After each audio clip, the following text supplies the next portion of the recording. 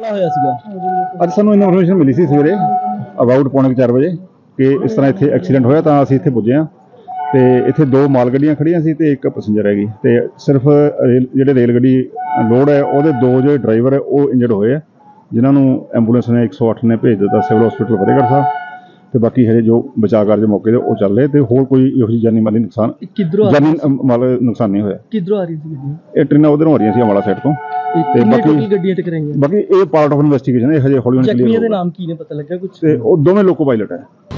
ਸਾਡੇ ਕੋਲੋਂ train accident ਵਿੱਚ ਦੋ ਲੋਕੋ ਪਾਇਲ ਅਹ, ਲੋਕੋ ਪਾਇਲਟ ਆਏ ਸੀਗੇ ਜਿਹਦੇ ਵਿੱਚ ਹਿਮਾਂਸ਼ੂ ਕੁਮਾਰ ਤੇ ਵਿਕਾਸ ਕੁਮਾਰ ਸੀਗੇ ਜਿਨ੍ਹਾਂ ਦਾ ਨਾਮ। ਉਹਨਾਂ ਦੋਨਾਂ ਨੂੰ ਰਜਿੰਦਰ ਰੈਫਰ ਕਰ ਦਿੱਤਾ ਕਿਉਂਕਿ ਉਹਨਾਂ ਦੇ ਸੱਟਾ ਹੈਡ ਇੰਜਰੀ ਸੀਗੀ ਇੱਕ ਦੇ। ਤੇ ਇੱਕ ਦੇ ਬੈਕ ਇੰਜਰੀ ਸੀ ਤਾਂ ਕਰਕੇ ਉਹਨਾਂ ਨੂੰ ਰੈਫਰ ਕਰ ਦਿੱਤਾ। ਹੈਡ ਇੰਜਰੀ ਕਿਤੇ ਸੀ? ਵਿਕਾਸ ਕੁਮਾਰ ਦੇ ਸੀ। ਔਰ ਦੂਜੇ ਦੇ? ਦੂਜੇ ਦੇ ਬੈਕ ਇੰਜਰੀ ਸੀਗੀ ਉਹ ਚੱਲ ਨਹੀਂ ਪਾ ਰਿਹਾ ਸੀ ਤਾਂ ਕਰਕੇ ਉਹਨਾਂ ਨੂੰ ਰੈਫਰ ਕੀਤਾ ਹੈ ਓਕੇ ਤੇ ਮੈਮ ਕਿੱਥੇ ਦੇ ਰਹਿਣ ਵਾਲੇ ਲੋਕ ਦੋਨੋਂ ਸਹਾਰਨਪੁਰ ਯੂਪੀ ਦੇ ਰਹਿਣ ਵਾਲੇ